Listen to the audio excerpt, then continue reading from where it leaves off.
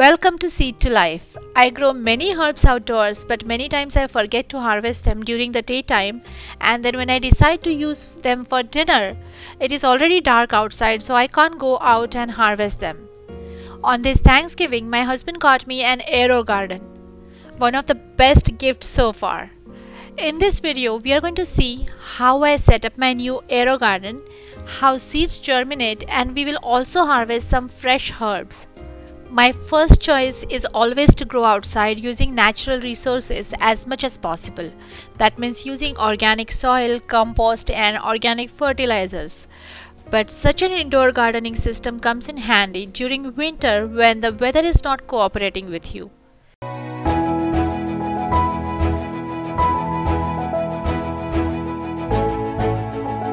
The model that we have in AeroGarden is Harvest Slim. It has everything in it that is needed to grow plants. It comes with a main assembly with a pot, grow light and a power plug. Then it also comes with 6 seed kits that are seeds in seed growing sponges and 6 lids and liquid fertilizer. It is very easy to set up this system. You just need to fill the water up to the water mark and add the liquid fertilizer. You can adjust the distance between the growing plants and the grow light with an adjustable bar. I added water, the nutrient solution and seed pod kits and we were all set.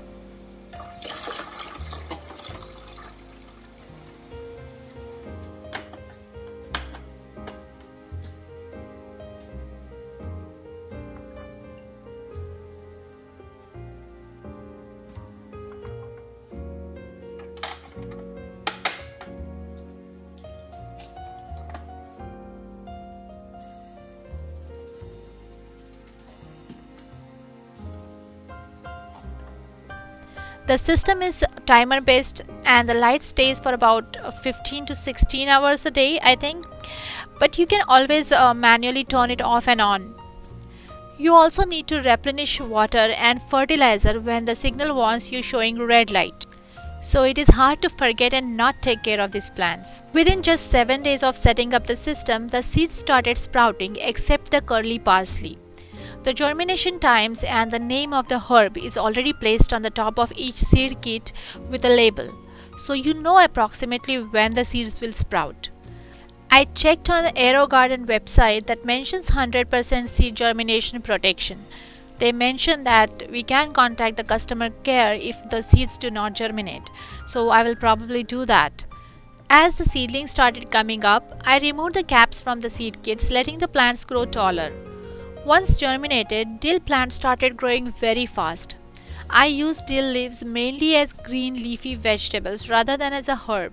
So only few of these plants are not going to be enough for my family. I am germinating more dill seeds in my regular germination system to grow more plants outdoors. But I think AeroGarden is great for growing herbs. They grow very fast. I set up the system on December 12th and my first harvest was on January 23rd. So it is amazing that just in 4 weeks you can start harvesting. That is pretty quick. I love that the leaves are clean and you can just add them to your recipes after only gentle rinsing. Basil plants grow beautifully. The sweet basil leaves are really big and healthy. As the plants grew taller, my Thai basil plants grew very close to the grow light. I noticed one day that the basil has already started developing some flowers. So it is important to regularly harvest these herbs and snip the ends to maintain the distance of about 2 inches between the plants and the grow light. I harvested a good amount of basil, mint, thyme and dill leaves from these plants the first time and after that I regularly harvest the leaves. Today we are going to harvest more dill and basil leaves. So let's begin.